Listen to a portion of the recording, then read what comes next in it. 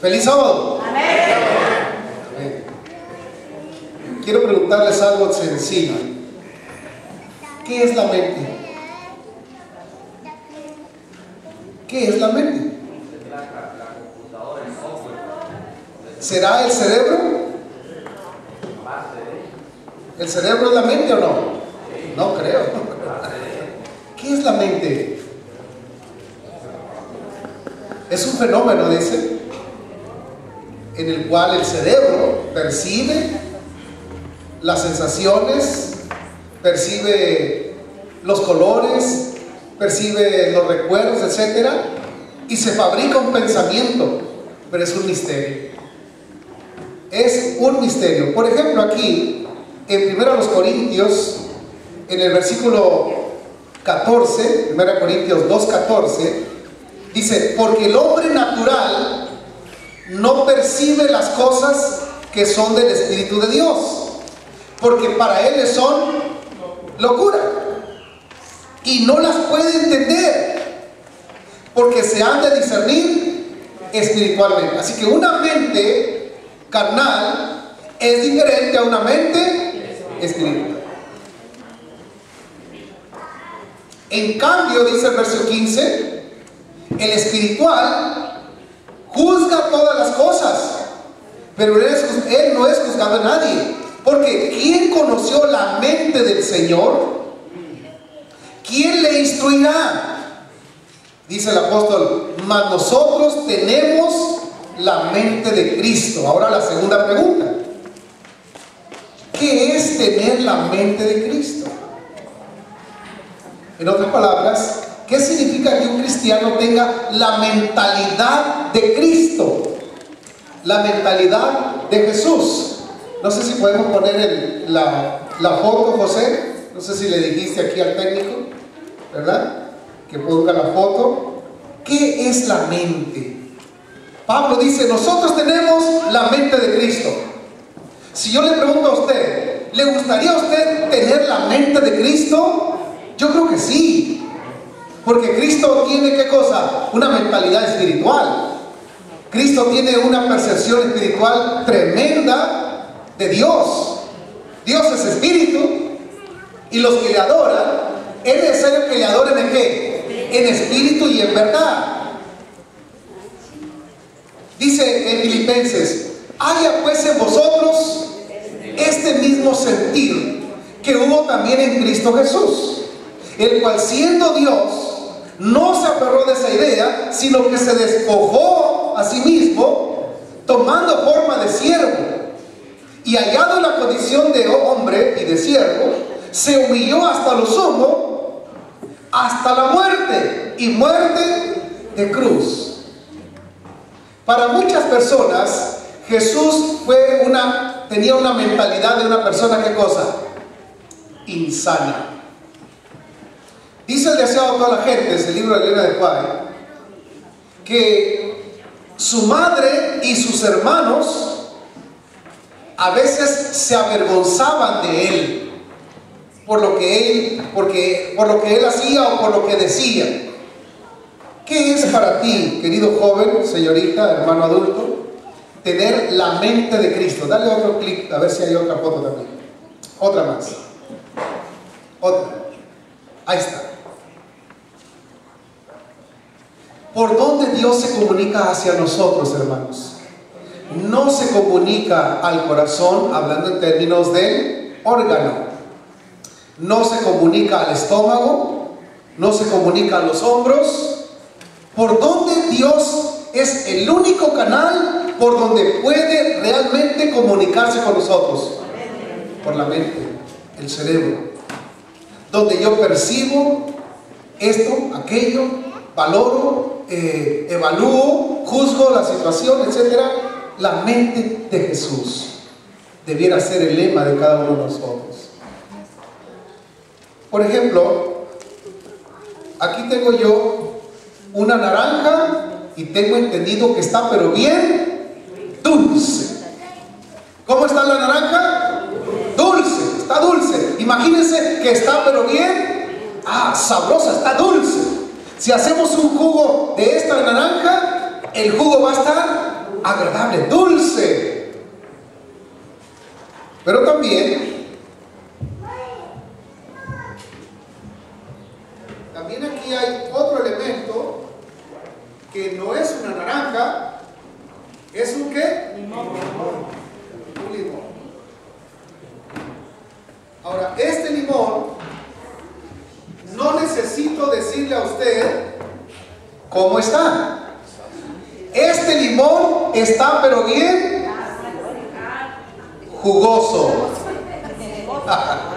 Este limón está terrible. A ver. Wow. Sí que está ácido. Hermana Marta, ¿por qué me trajo este limón? No está dulce. ¿Cuántos de ustedes tienen en su, en su boca un poquito más de saliva que hace ratito? ¿Quién le dijo? Si yo lo probé nada más. Usted no tiene, usted nomás mire, usted mire y calle. Ah, terrible. ¿Cómo trabaja la mente, hermanos? ¿Cómo trabaja? Es un misterio. Sin embargo, esta está dulce.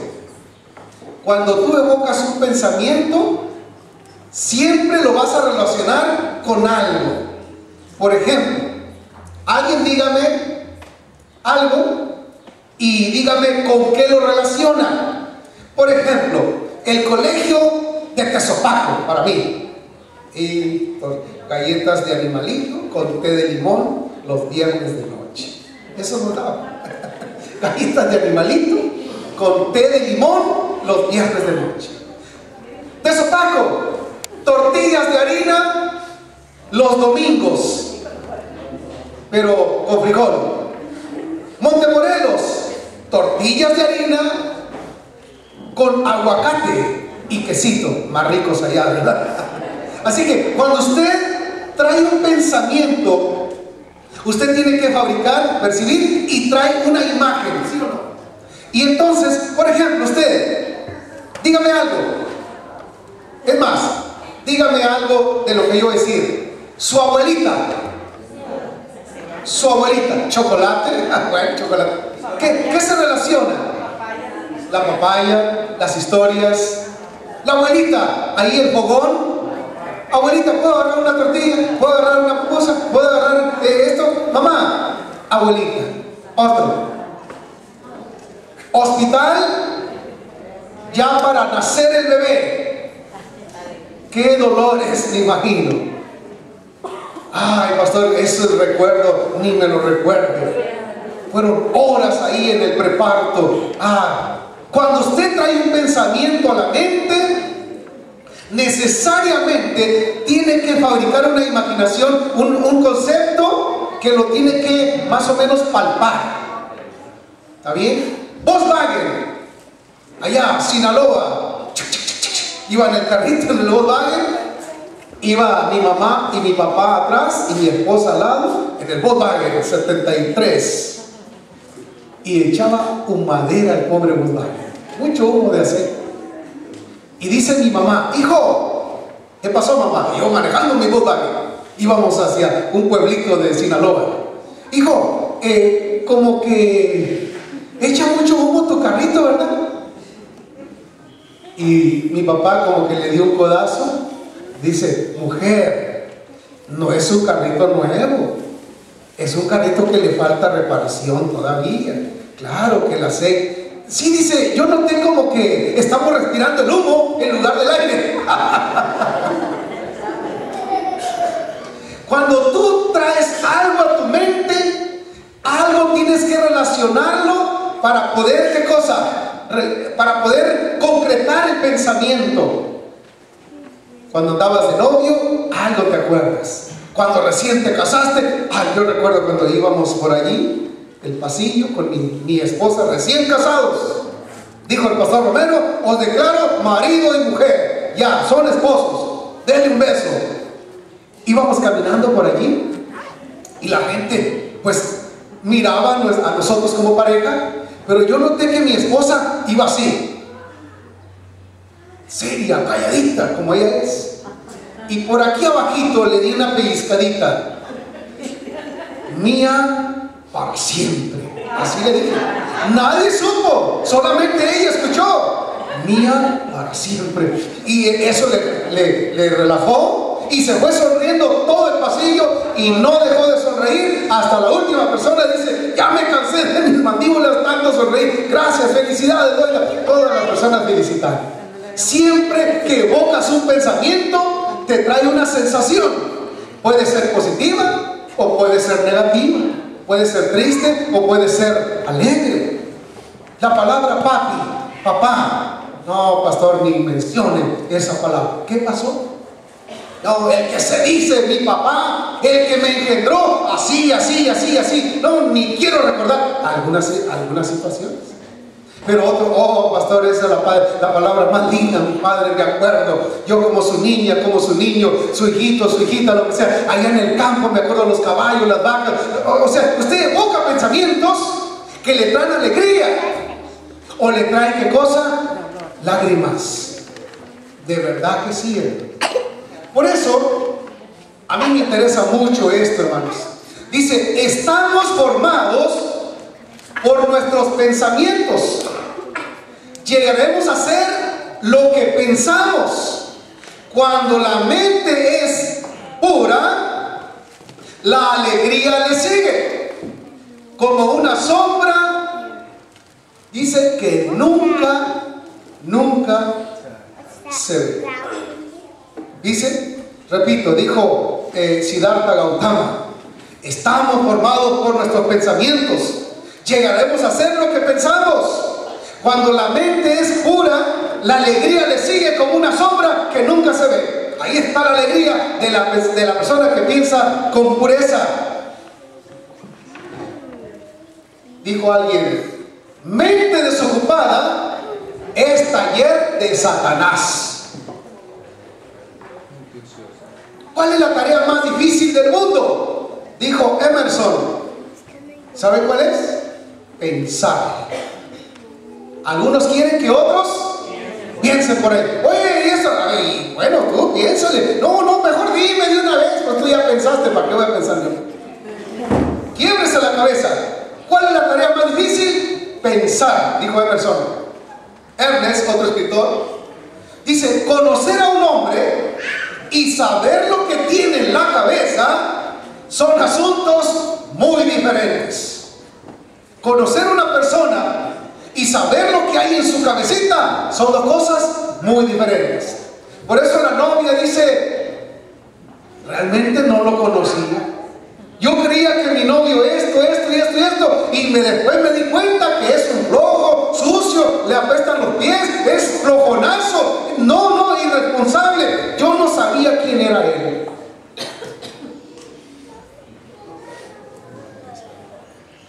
De dos luchadores ¿Usted sabe quién vence? El pensador. De dos luchadores, el pensador vence, dijo Lao Tse. Víctor Hugo añadió, el agua que no corre hace un pantano. La mente que no trabaja hace un tonto. Qué bárbaro este Víctor Hugo. El agua que no corre hace un pantano y la mente que no trabaja hace un tonto. Otro añadió, hay que tener buen juicio. Dice, hay que tener muy buen juicio para advertir que no lo tenemos. Descartes dijo, los más generosos acostumbran a ser más humildes. Interesante Descartes. Don Bosco añadió, no nos creamos necesarios, no nos creamos importantes, menos indispensables. Y esta dama, Agatha, añadió y dijo, cuando no hay humildad, las personas se degradan. Interesante. Una persona degradada moralmente es una persona orgullosa entonces. Dice, cuando no hay humildad, las personas se degradan. Pero cuando hay unidad, las personas, ¿qué cosa? Se elevan espiritualmente. Es interesante eh, cómo estos pensadores añaden estas ideas. Yo quiero invitarles para ir a Génesis, si son tan amables. Génesis 6, versículo 5. Voy a estar cuidando el reloj este día que tenemos el Santo Bautismo. Dice Génesis 6, 5, hermanos. ¿Ya lo tienen? Dice, y vio Jehová que la maldad de los hombres era mucha en la tierra y que todo designio de los pensamientos del corazón de ellos era de continuo solamente el mal. Los que estuvimos en la escuela no adventista en la primaria, y aún aquellos que a lo mejor también, pero aquellos que no estuvimos en la escuela adventista de chiquillos de los 7 a los 11, 11 años, nos damos cuenta que hay niños muy malandriles, niños malosos, malillos, pero con maldad. Una cosa son las travesuras y eso se qué, se pasa. Pero otra cosa es un niño maloso, malo, que hace cosas malas y que lo piensa, de esta manera le voy a hacer. Cuando la maestra se salga del salón, voy a ir a su escritorio, voy a hacer esto y esto, algo malo. Una vez entró el profesor y eso en la prepa, en la preparatoria. Montemorelos, ahí en el pizarrón estaba una palabra. Y el profesor entró, profesor de sociales. Entró el profe, muy sencillo, eh, muy agradable. Y saludó a los muchachos, no veía el pizarrón. ¿Cómo están jóvenes? Y todos un poco calladones ahí. Y había una palabra ahí que lo describía a él. Decía la palabra, el caguamo. Esa botella de, cerveza. Y él cuando vio en el pizarrón,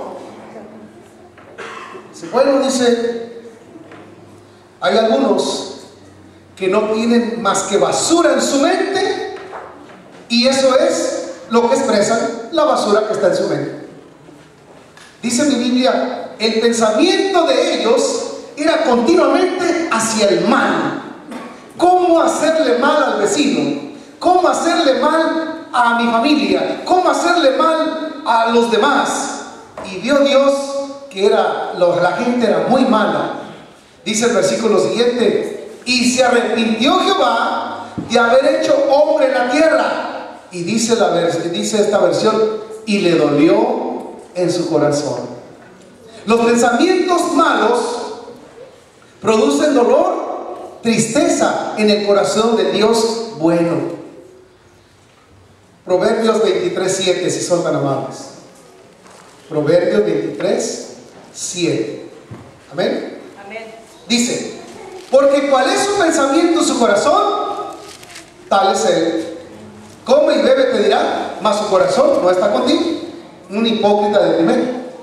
Porque cuál es su pensamiento, su corazón, tal es él. El pensador dijo, somos lo que pensamos.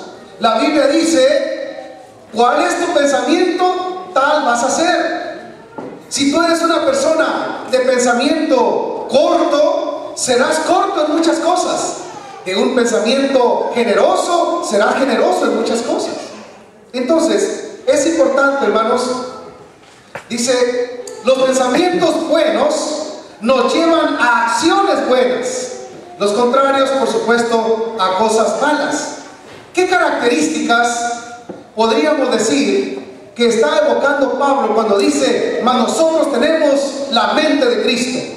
Tener la mente de Cristo es que se fusione la mente de Él en la mente mía y aunque no pierdo mi individualidad, porque Él respeta mi libre albedrío, Él respeta mi facultad de decidir por mí mismo, al, fusionarse esas dos mentes, mi mente se eleva y entonces el pensamiento de Cristo prevalece yo lo evalúo, sí Señor, este es el mejor camino, oh, es la mejor palabra, es la mejor acción, es la mejor actitud, yo quiero seguirte Señor. Tal vez por eso Elena de Guaire, camino a Cristo, dice, conságrate a Dios todas las mañanas. Haz de esto tu primer trabajo. Sea tu oración, tómame, oh Señor, como enteramente tuyo. Qué hermoso cuando le decimos a Dios, controla mi vida, Señor, porque yo mismo no la puedo controlar. Mis hábitos, mis impulsos, mis tendencias. Pero cuando la mente de Cristo se le permite actuar, entonces nuestras vidas tornan y se hacen diferentes. En primer lugar, como dice la Biblia, la mente de Cristo, primera característica, es una mente pura. ¿Es una mente qué? Limpia. Por eso él dijo, bienaventurados los de limpio corazón, porque ellos verán a Dios. Así que yo quiero tener la mente de Cristo, porque quiero conocerlo personalmente, quiero ver a Jesús. Y dice, los únicos que lo van a ver son los que tengan una mente limpia.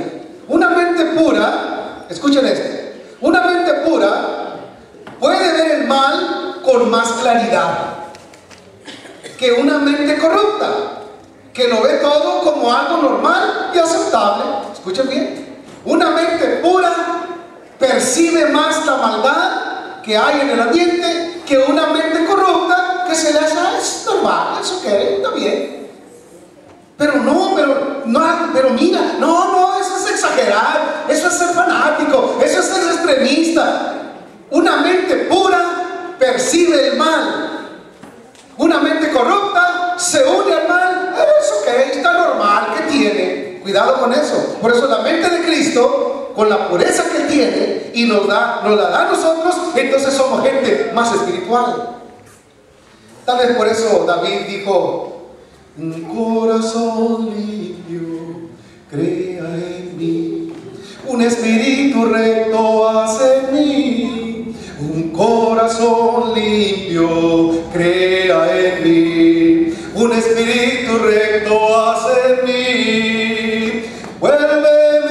gozo de tu salvación. Un espíritu recto hace mí. Dios quiere, hermanos, que tengamos una mente recta.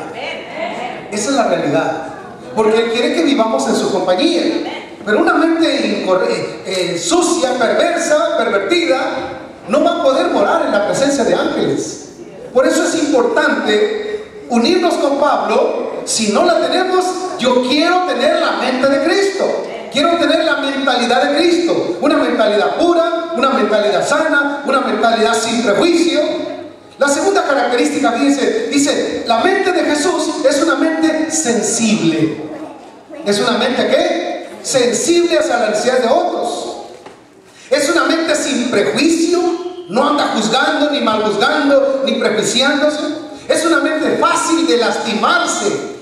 La mente de Jesús, como es tan sensible, no se refiere a ser delicado, llorón, allí quejoso, no. Es sensible porque es pura, es santa. Entonces cuando Jesús jugaba con los niños de allá de Nazaret y percibía que este muchachito le decía otras cosas a este jovencito y quería lastimar a esta niña, él era sensible. Dice, no le hagas mal, ¿por qué le pegas? ¿Qué tiene? Y así soy yo, ¿y qué te importa? Yo no sé cómo se, se desarrolló esa niñez, pero era tan sensible que él podía sentir el dolor ajeno, hermanos. Él podía sentir cuando una madre estaba anhelosa de su hijo que andaba en malos caminos. Estaba preocupado Jesús por un vecino que no tenía mucha comida, etc. Era sensible.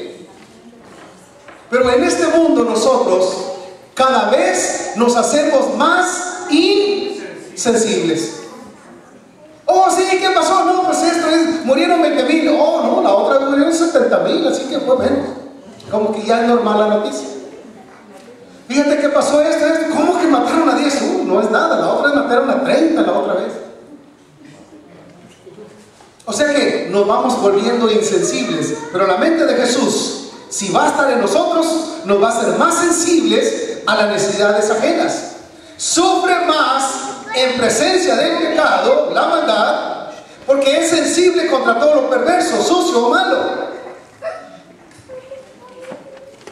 La tercera dice, es una mente pacífica, hermanos. La mente de, Jesús es una mente pacífica. Quiere ayudar, sanar, ser útil. Quiere reconciliar, restaurar, levantar. Es fácil de convivir con una mente pacífica. Pero qué difícil con una mente conflictiva. Se puede relacionar fácilmente con alguien que es pacífico, como Jesús. Número cuatro, es una mente alerta. Y usted puede tener un montón de ejemplos. ¿Cómo vemos que Jesús tenía una mente alerta? De repente el fariseo, el, escriba, se le acercaba y le hacía qué cosa? Una pregunta, Señor, una pregunta. Y, y dice, y sabiendo Jesús, alerta de la intención de la pregunta, le dice, ¿tienes una moneda? Sí, aquí está una moneda. ¿Y de quién es la imagen y la inscripción? Pues de César. Bueno, dale a César lo que es de César y a Dios lo que es de Dios. Una mente alerta. No es fácil que la sorprendan y la hagan qué cosa? Engañar. La mente alerta de Jesús, al ser nosotros, nos va a hacer más que cosa, hijos, más, más inteligentes, más, más listos. Satanás es muy astuto, hermanos y hace creer a muchos cristianos conceptos equivocados al grado que el cristiano los defiende, los proclama y hasta los puede predicar. Y él cree en el corazón, sí, es que así es, así es, así es. No es así. Usted puede tener un concepto equivocado y hasta proclamarlo, defenderlo, predicarlo, y sigue siendo equivocado. Es a ese grado, dice mi Biblia en, San Juan capítulo 8, y el diablo que engaña qué cosa? A todo el mundo. Nadie se escapa. El diablo engaña a cuántos? A todos, adultos y jóvenes. La mente de Jesús, hermanos, es una mente humilde. ¿Qué dije? Es una mente humilde. Eso significa que es una mente valiente, que es realmente responsable, que asume la responsabilidad, que es una mente perdonadora, tiene inocencia, ¿verdad? Que no es, no es ingenuidad ni tontería. La inocencia es la pureza de Jesús. Mira todo el cuadro del problema en general y le dice a su padre, Padre, perdónanos, porque no saben lo que hacen.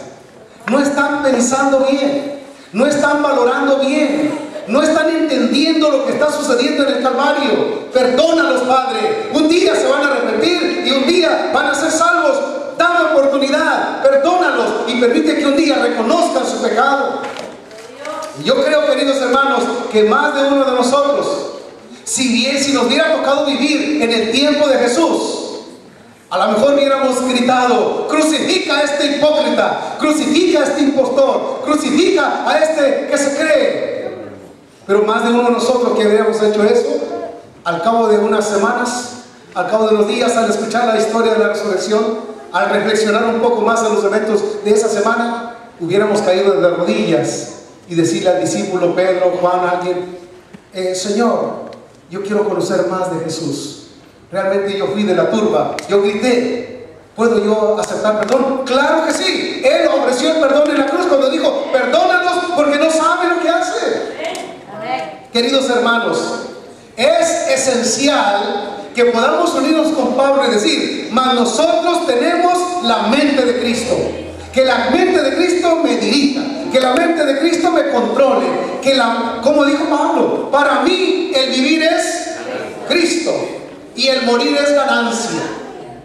¿Qué significa entonces poder ser con una mente pura, sensible, pacífica, viva, alerta y también humilde? Bueno, significa irse pareciendo cada vez a Cristo Jesús.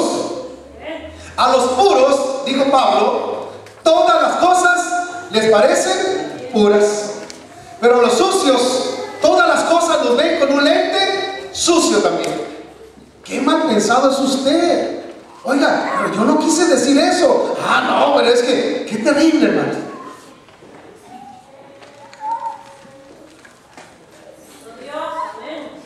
Una vez estábamos en una reunión de pastores, de eso hace bien.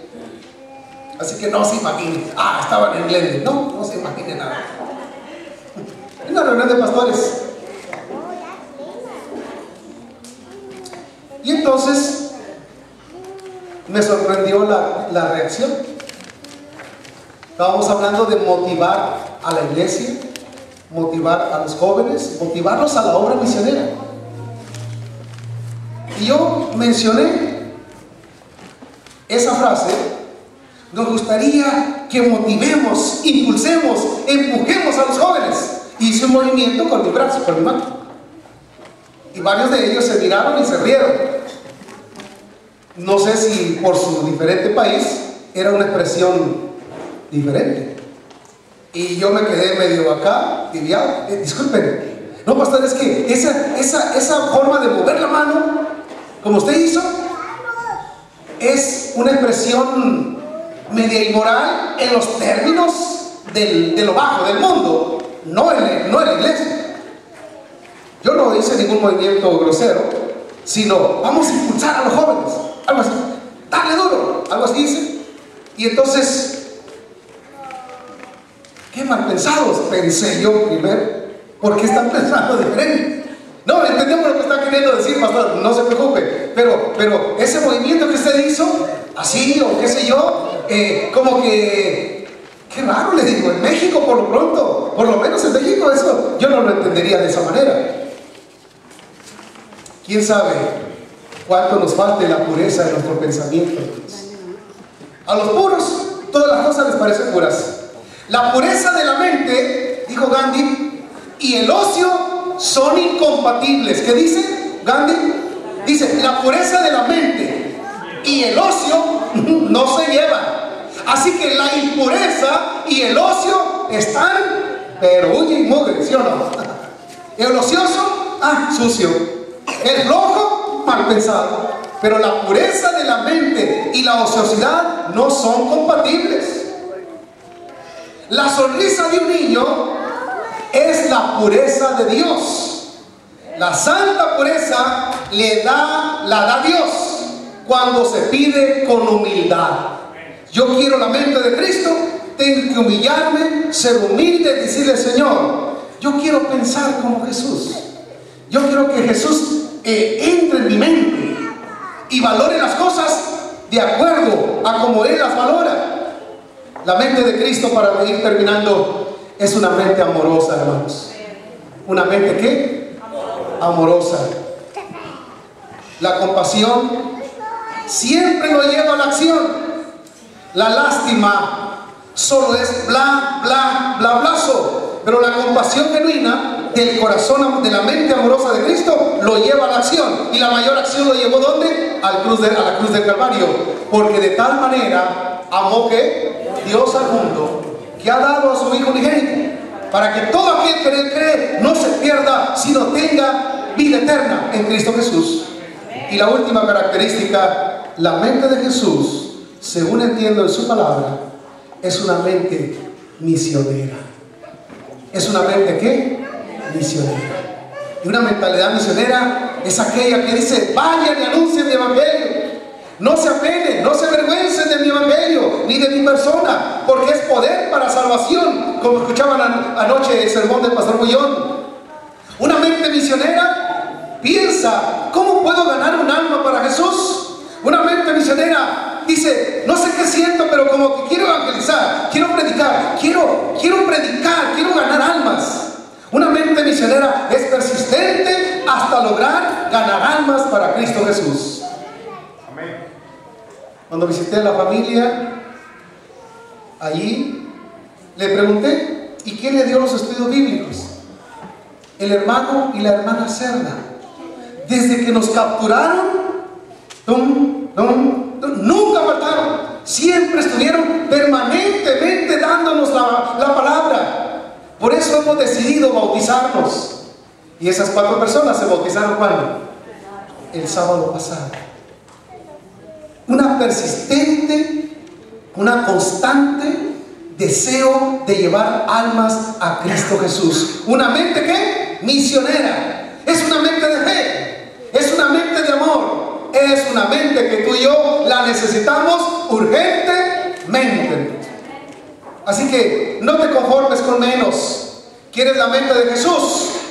Te va a purificar tu pensamiento. Te va a hacer sensible a las necesidades. Te va a dar una mente pacífica. Te va a hacer una mente vivaz. Te va a hacer una mente humilde. Te va a dar una mentalidad amorosa y te va a concluir en ser una mente misionera para gloria y honra de nuestro Dios. Que Dios nos bendiga, hermanos. Y como dijo el apóstol, mas nosotros tenemos la mente de Cristo. ¿Quieres tener la mente de Cristo? Ora conmigo. Querido Padre Celestial, en un 100% no hemos entendido el mensaje, Señor. Empiezo conmigo. ¿Qué será tener tu mente, oh Señor? Pensar como tú. Reaccionar como tú. Accionar como tú. Señor Jesús, poséenos Así como los demonios poseían a las personas, que a nosotros nos posea tu Santo Espíritu, Señor, para hacer posesión adquirida por ti, para anunciar las virtudes de un Dios amoroso, que es sensible y que es amoroso y que quiere salvar.